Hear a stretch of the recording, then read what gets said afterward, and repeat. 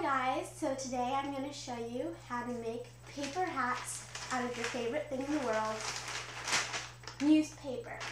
So, you're going to take one sheet like this and fold it in half.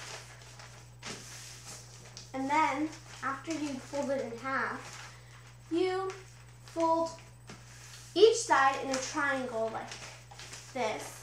It's okay if there's this big gap here, but you can't fold it all the way because we need one inch about at the bottom left.